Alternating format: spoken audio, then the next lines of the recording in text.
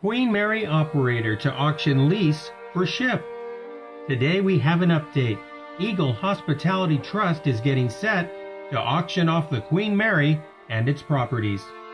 But before we step aboard, be sure to subscribe and click the notification bell for future updates. Thank you.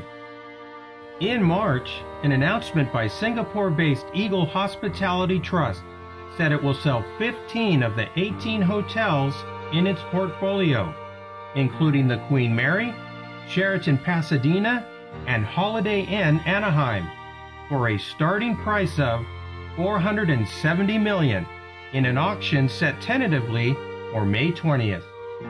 The city of Long Beach owns the Queen Mary, but for decades has leased the ship to various operators, some who have met similar financial struggles. Eagle hopes to sell the Queen Mary lease individually to someone who recognizes the opportunities for development. Eagle has received an initial bid for the entire portfolio from a private investment firm called Monarch Alternative Capital. However, Eagle could choose to sell the Queen Mary or any of its properties individually in the auction, adding that it has received multiple offers for the Long Beach landmark stating the following The Queen Mary is a special asset that has tremendous redevelopment opportunity on the 45 acres of waterfront.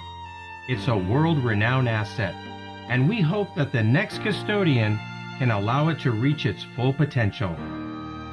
Meanwhile, the lease of the Queen Mary will change hands yet again, as one of the biggest concerns remains the repairs and maintenance for the aging vessel. Eagle Hospitality filed for bankruptcy with a total of more than $500 million in debt on January 18th, as the COVID 19 pandemic has ravaged the hospitality industry. But the company showed signs of problems in 2019 before the pandemic, including a 341 million default on a loan from Bank of America. Once again, Long Beach has a history of operators who have struggled to make the ship profitable. Any thoughts or insights that you would like to share? Please do